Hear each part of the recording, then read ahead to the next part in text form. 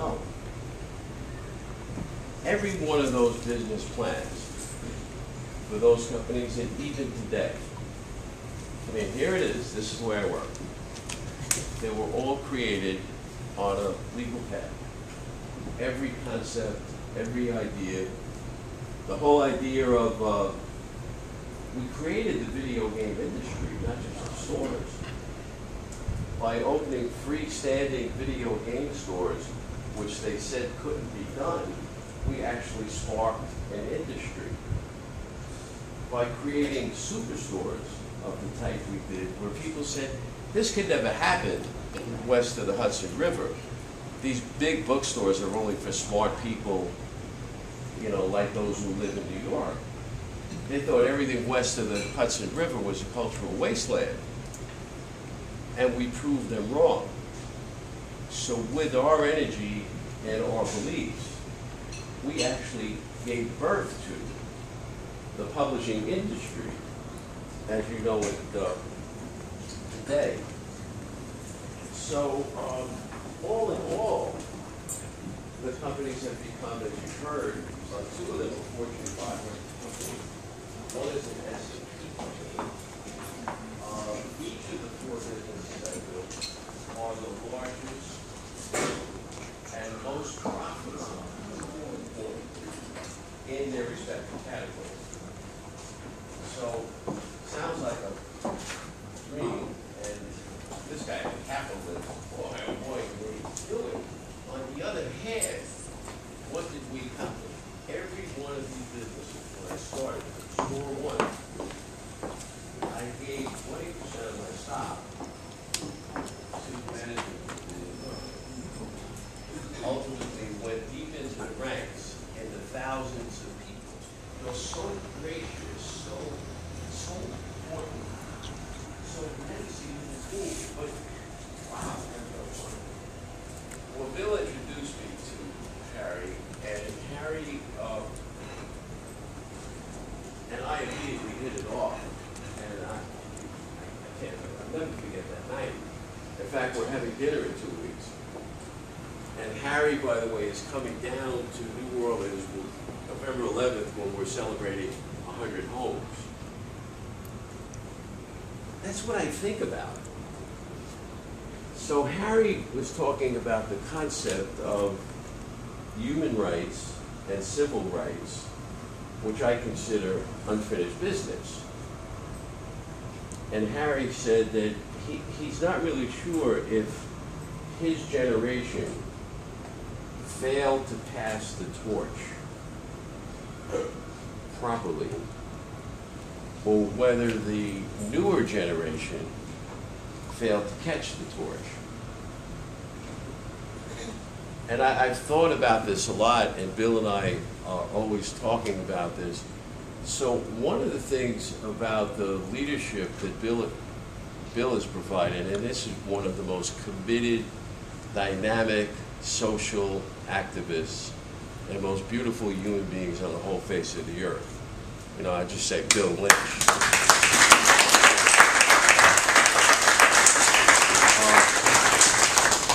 So Bill and I talk about this, and um, so one of the purposes of having this breakfast and others down the road is that Bill wants to, you know, provide some sort of platform, some sort of forum here, uh, where the young emerging leaders, uh, in this particular case, obviously, in this community, you know, understand what it takes or are encouraged to participate in a very big way because it, it, it should be clear as a bell to all of you that we need new leadership in America. There is a paucity of leadership at the very highest level of politics, at the highest levels of business, and in the law. We just don't have the leadership not the leadership that's required in this new world that we've been having. Not the leadership we require to get on with the unfinished business. So this uh, group of breakfast uh, with Bill's brainstorm, and I'm very, very pleased to, uh, to have been here and talk. If you have any questions, please, please.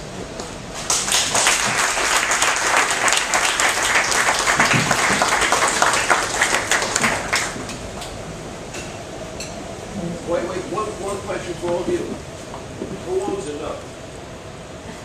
All right, wait a second. Mary Ellen, let's take a deal. Okay, go ahead. Question.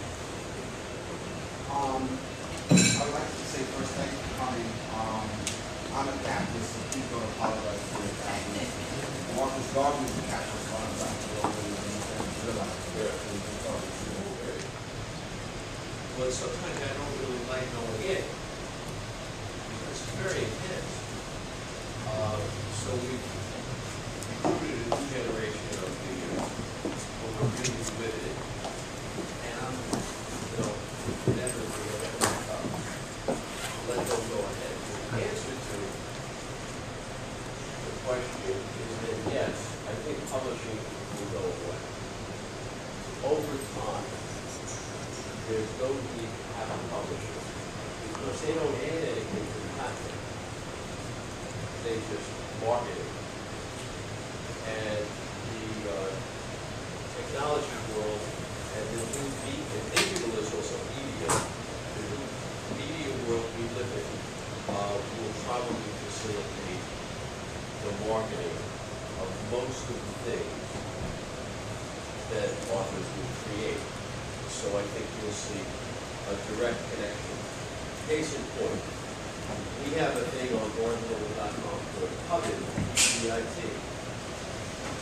in which the author makes a submission to us, and we give them 40%, or I'm sorry, 60%, 60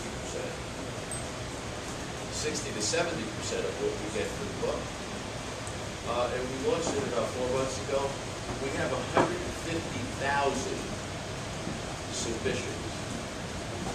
And already published titles represent. Right, two years ago in the Caribbean, we were traveling at a conference, and you know, I was, I was struck by what you were saying in terms of his discussion on torch passing, whether you know people pass the torch, whether people catch it, what have you. But what, from what I hear from you is that no one really passed the torch. That through your sort of day to day, you, you know, you were working, you were at NYU, you were working at the bookstore, and you just saw things, things that you liked, things that you didn't. And then you just became a leader in terms of your hard work, you're, you're sitting there critiquing yourself, the enterprise, what have you, and that you grew. And so I guess my question to you, or, you know, my comment, you know, question or comment, is sort of, you know, should anyone be looking for torch passing, or should you just sort of naturally, you know, but purposefully, you know, engage in your life and your business and what have you, and sort of become the leader that you want to be, or become the person that you want to be, as opposed to looking for torches. Well, the only torch you get to pass is the one you own. True. So, yes, I mean, I think that's what has to happen, but, uh, you look all across the globe, uh, we met, uh, Mary Ellen and they, uh, met, uh, this amazing woman, uh, what's her name, Leymah?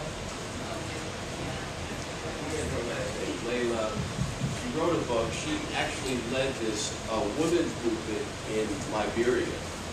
I, I don't really know, I- now I know it's next to Sierra. And uh, she led this movement, you know, there were, the people that were killing one the huge numbers. Uh, kids that were uh, ten years old were carrying uh, AK-47s. And there was murder and mayhem year after year, and uh, Leymah basically group of women. And they actually brought the killing to an end. You know, so she, she's, uh, I guess she's probably in her mid forties. Uh, she's now gonna travel, uh, America, uh, speaking about what she did, and she's leading this Pan-African conference to try to do the same thing. And I spoke to her about that.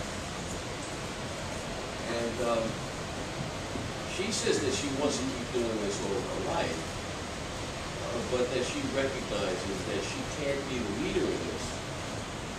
that what her mission is, is to cultivate people that will take her place. So she wants to multiply her numbers. We didn't do that here. We had a few leaders of Earth. Uh, and what happened is, once they grabbed, and families, merged, and once they grabbed power, stayed with it. And I think that's why a lot of the progress that we have made, uh, in the sixties and early seventies, either came to an end or pretty much stopped, right? Slowed down, uh, quite, quite a bit. Um, And I think, I think it's important, I mean, there's, the ways and means, You've gotta be seventy. Right? So that's the problem. So we don't get the seat, chairman of Ways and Means, unless we get one of our people to be in power for longer than they should be. Right, but you kind of like it to have somebody, you know, thirty-five or, I mean, right, in that seat. But we don't want him to go to seventy. That's, that's the, issue. there's only so many seats. Uh, I guess this is more of a political question. You alluded, you spoke a little bit uh, about the tax bracket and, and, and the need uh, for equity. Is there a, or, or here's, here's, rather, here's a question. How do you balance business and not mixing with politics? May, let's say there's a particular issue. You're saying, you know what, I'm going to fund, let's say it's a uh, gay rights initiative. Let's say you, this is something that you support and you're pushing. How do you balance that where you separate it, where it doesn't affect your business? I mean, I think the two come together, but I, I'm not looking for, uh, a redistribution of wealth or anything like that. I'm not looking for that kind of equity in the system. I'm, I'm, I'm conservative in that regard. I think, you know, you need the money, so where do we get it from? I mean, if you wanna spend it, you gotta make it. The only way government earns is in taxes. So I'm only saying, you gotta tax as much as you spend. And I, I'm not specifically saying that we have to tax the wealthy, that wasn't one of my message was. I mean, but if you, if you had to tax, uh, raise social security taxes on retirees, maybe you gotta do that, or maybe you have to raise, uh, they charge, FICA is like ten and then the company pays ten and a half. Maybe it's be eleven and a half. You know, someone would say that comes on the back of the working people, I, I agree, but we need to get it from someplace. So I wasn't trying to be a socialist, as it were, but a pragmatist. You know, we need to get the money from somewhere. And then, you know, if you want to wage a war.